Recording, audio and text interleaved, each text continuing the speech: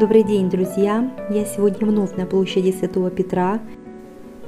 В предыдущем видео я вам рассказывала и показывала, что находится в соборе Святого Петра, шедевры Ренессанса и барокко.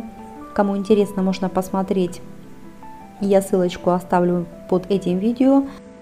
А сегодня мне предоставилась возможность посмотреть, что находится под центральным нефом базилики собора Святого Петра но не только посмотреть, но и сделать для вас видео в гротах собора Святого Петра, где находится захоронение римских пап. Обычно этого делать нельзя, фотографировать и снимать, но охрана Ватикана немного потеряла бдительность из-за отсутствия туристов, и поэтому, спустившись под главный нил базилики в гроты, мне удалось снять уникальные кадры. Для того, чтобы попасть в гроты Ватикана, нужно от балдахина Бернини повернуть налево и увидеть статую святого апостола Андрея. Под ней находятся ступенечки, по которым нужно спуститься и попасть в гроты Ватикана. Это нижняя часть церкви, которую я вам сейчас показываю, основной массе туристов остается недоступной. Сюда могут попасть только единицы туристов, которые пришли рано утром на службу. А вот уже эта часть доступна практически всем, где можно посмотреть захоронения пап римских. Первое надгробие на нашем пути – это захоронение папы Пия XI.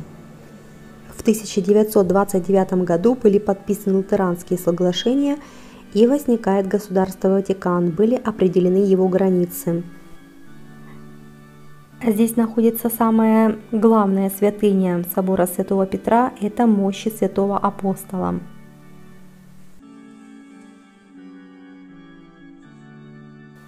Надгробие Папы Пии VI, когда в 1798 году Наполеон оккупировал Рим, Папа Пий VI стал изгнанником в Сиену. Через два года он скончался. Чуть позже его останки были перенесены в Рим и захоронены в гротах Ватикана.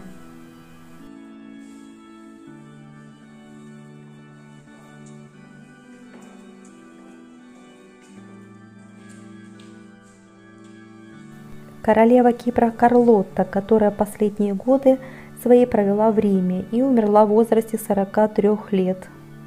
И рядом находится саркофаг королевы шведской Кристины. Папа Иннокентий IX. Следующее надгробие папы Бенедикта XV. Он был стойким противником Первой мировой войны. Умер в 1922 году. В следующем древнеримском саркофаге захоронен папа Марчелло II, был 222-м папой и проруководил католической церковью всего 22 дня. Умер в 1555 году от инсульта и был одним из самых молодых пап римских. Ему было всего лишь навсего 54 года.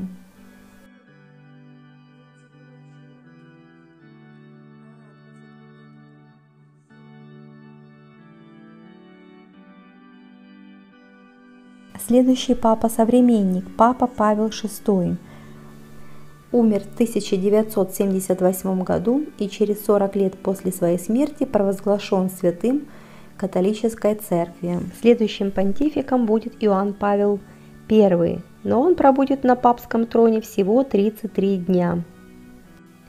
Папа решил очистить ряды Ватикана от масонов и проконтролировать Банк Ватикана – Умирает Иоанн Павел I при загадочных обстоятельствах в своей комнате, якобы от инфаркта миокарда.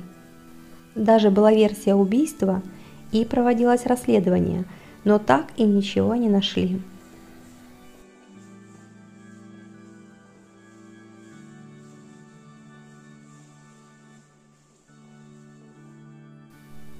мозаика филиппинского священника, которого католическая церковь возвела в лик святых.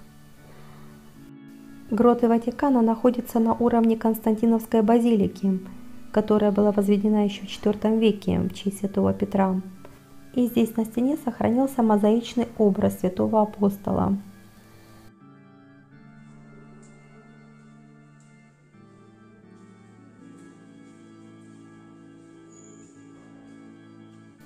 Надгробный памятник папе Павлу II. Это знаменитый кардинал Венеции Пьетро Барбо, который приезжает в Рим и его выбирают папой римским. Это он в середине 15 века выстроит дворец Венеции на площади Венеции в Риме, который будет являться главной резиденцией венецианского понтифика. Павел II любил праздники, шикарные банкеты, которые устраивал по ночам во дворце Венеции – был ярым болельщиком забега лошадей, которые проводились на Виа дель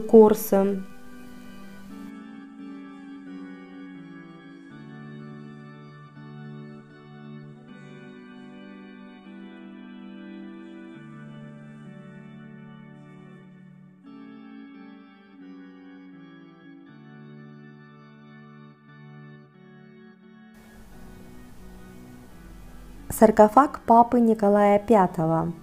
В середине 15 века, в 1450 году, понтифик приступает к строительству нового акведука и восстанавливает старые древнеримские акведуки, которые еще в VI веке были разрушены варварскими народами. Один из самых знаменитых древнеримских акведуков, который построил в 19 году до нашей эры Марк Агриппа, восстанавливают при папе Николае V, и он до сих пор питает знаменитый фонтан Треви. Папа Николай V умирает в 1455 году от подагры.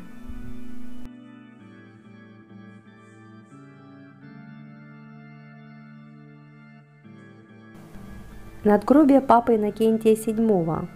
Умирает он неожиданно в 1406 году и ходили слухи, что он был отравлен, но доказательств этого было недостаточно.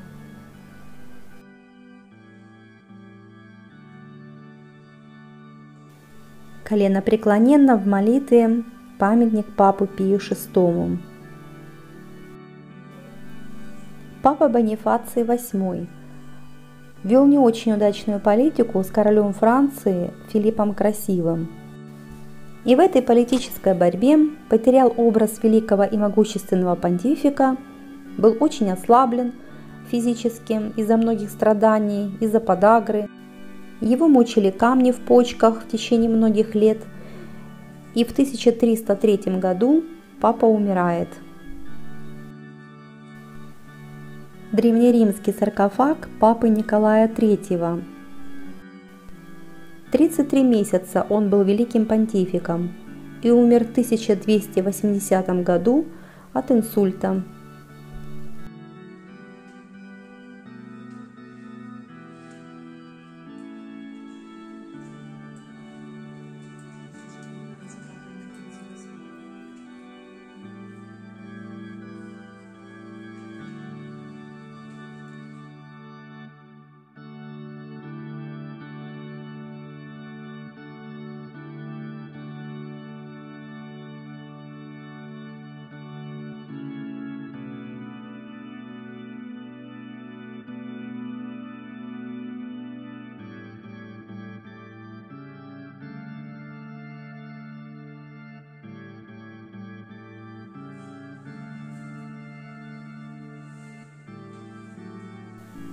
Священные гроты Ватикана расположены на глубине трех метров на уровне пола древней базилики, построенные еще при императоре Константине Великом в IV веке нашей эры. И это часть стены, которая сохранилась.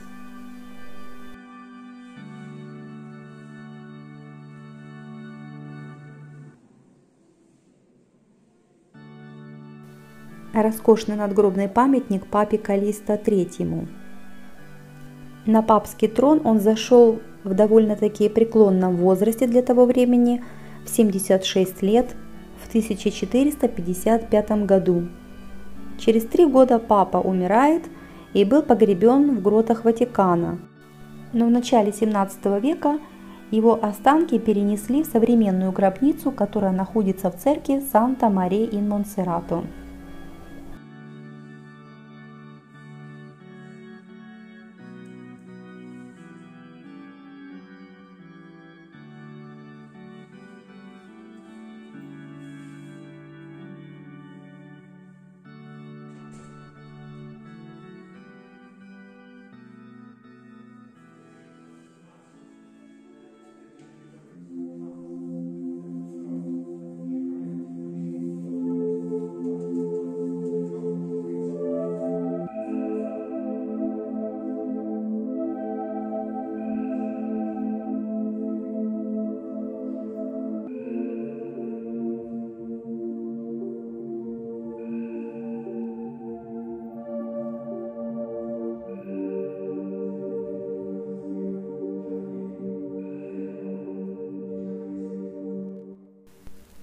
Сегодня мы с вами посмотрели гроты Ватикана.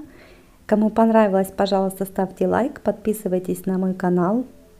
Мы вышли во двор собора Святого Петра. С правой стороны находится очень вкусный источник воды.